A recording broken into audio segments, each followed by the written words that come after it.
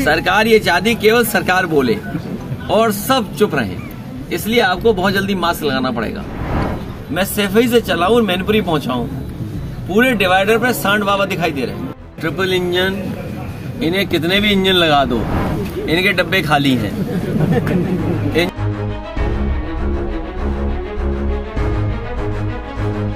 धरती पुत्र मुलायम सिंह के निधन के बाद सपा अध्यक्ष अखिलेश यादव पार्टी की जिम्मेदारियों को बखूबी निभा रहे हैं। धरातल पर उतरकर लोगों से मुलाकात कर रहे हैं। पत्रकारों से पूछे गए सवालों का बखूबी जवाब दे रहे हैं। और तो और नेताजी के पद कदमों पर चलते हुए ढलने की कोशिश कर रहे हैं। दरअसल अखिलेश यादव मैनपुरी में आयोजित एक निजी कार्यक्रम में पहुँचे थे, जहाँ उन्होंने बीजेपी और प्रदेश सरकार पर तीखा हमला बोला। सपा मुखिया ने कहा कि सरकार के कुछ मंत्री विदेश में इन्वेस्टमेंट को लाने के लिए गए थे, लेकिन कोई भी यहाँ आना नहीं चाहता है।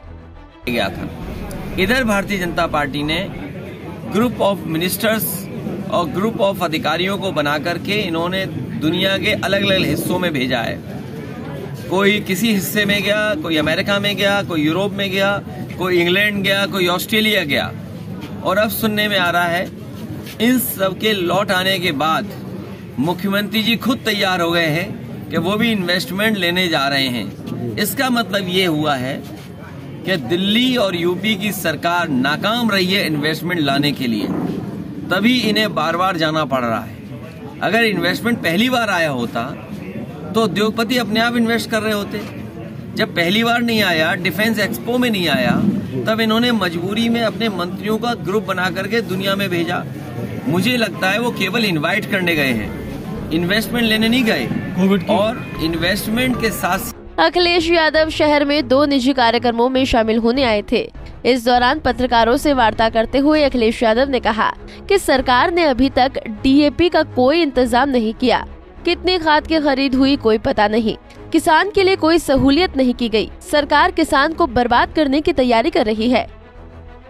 किसान के लिए अभी तक क्या सहूलियत दी है? धान कितना खरीदा गया है? डीएपी का इंतज़ाम कर पा रहे हो कि नहीं कर पा रहे हो? महँगी बिजली दे रहे हो? आपकी तैयारी है कि किसान बर्बाद हो जाए? मैनपुरी को क्या घोषित इमरजेंसी है? ये दौर से अब जो हम गुजर रहे हैं। देखिए जब चाहे तब नगर निकाय का चुनाव आप अड़ंगा लगा दीजिए। चरम सीमा पर बेरोजगारी है चरम सीमा पर महँगाई है और जब मैं चुनाव के बाद मिला था तो मैंने कहा था न्याय भी मिलना मुश्किल है। अगर बीजेपी पर तीखा हमला करते हुए अखिलेश यादव ने कहा कि बीजेपी के कई मंडलों को मेनपुरी के लोगों ने फेल कर दिया है। तो वहीं उन्होंने कहा कि इन्हें कितने भी इंजन लगा इनके सभी डिब्बे खाली हैं। न किसान न व्यापारी और किसी को भी इस सरकार से कुछ मिलने वाला नहीं है। ट्रिपल इंजन इन्हें कितने भी इंजन लगा दो इनके डब्बे खाली हैं। इंजन चलने लगे तुम्हें हमें कुछ नहीं मिलने वाला। न किसान को मिलने वाला है न व्यापारी को मिलने वाला है न किसी मजदूर को मिलने वाला है। और पत्रकार साथियों में कह रहा हूँ आपसे अगर आपने सच्ची खबर दिखाई तो तुम्हें मुकदमे दर्ज मिलेंगे। बेसहारा पशुओं का ज़िक्र करते हुए सपा मुखिया ने कहा कि सैफई से मेनपुरी आते समय पूरे डिवाइडर पर सांड बाबा दिखाई देते हैं। प्रधानमंत्री के कहने के बाद भी सड़कों से सांड नहीं हटाए जा रहे हैं। वहीं उन्होंने कोरोना से पूछे गए सवाल पर कहा कि कोरोना का हम सभी लोग डटकर मुकाबला करेंगे। मास्क इसलिए लगवाए जा रहे हैं क्योंकि कोई बोले नहीं सिर्फ़ सरकार बोले। हुई इसलिए है कि इसने कोई समस्या समाधान नहीं किया। मैं सैफई से चला हूँ मैनपुरी पहुँचा हूँ पूरे डिवाइडर पर सांड बाबा दिखाई दे रहे हैं। क्या स- इन्होंने नई ज़िम्मेदारी ली थी? और जिस देश का प्रधानमंत्री का कहता हो कि जानवर की बड़ी समस्या हो जानवर की समस्या का समाधान हो बताओ प्रधानमंत्री के कहने के बाद भी सड़कों से सांड नहीं हट पा रहे।